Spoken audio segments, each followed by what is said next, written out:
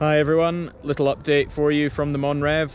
It is the beginning of week five here in Cervinia. Uh, we've got Academy clients out and we have our Gappies.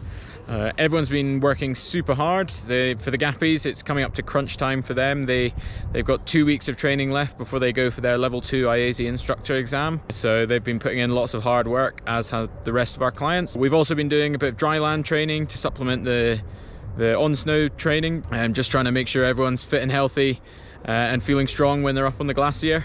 Um, the conditions up there have been great. Lots of fresh snow this week, uh, keeping it in really, really good conditions. So, got some footage for you. Hope you enjoy it, and uh, we'll see you next time.